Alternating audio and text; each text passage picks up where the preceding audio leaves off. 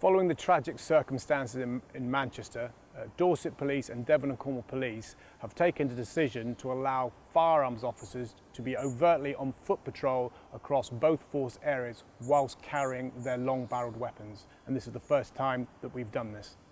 In layman's turn, I guess you describe it as a, a rifle, a semi-automatic rifle. That's what my officers will be carrying on foot patrol we continue to review our options, our tactical and deployment options uh, following any incident and the decision is taken that whilst there's been no change in intelligence, so no greater threat to the communities of Devon and Cornwall or Dorset, we think it is a very sensible deployment tactic to have these officers out in our communities uh, carrying their long-armed, uh, long-barreled weapons.